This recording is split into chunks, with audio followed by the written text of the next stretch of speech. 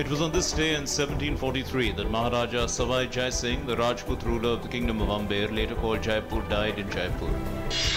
It was on this day in 1949 that Manipur was merged with the Indian Union. It was once an independent princely state which was later taken over by the British in 1891.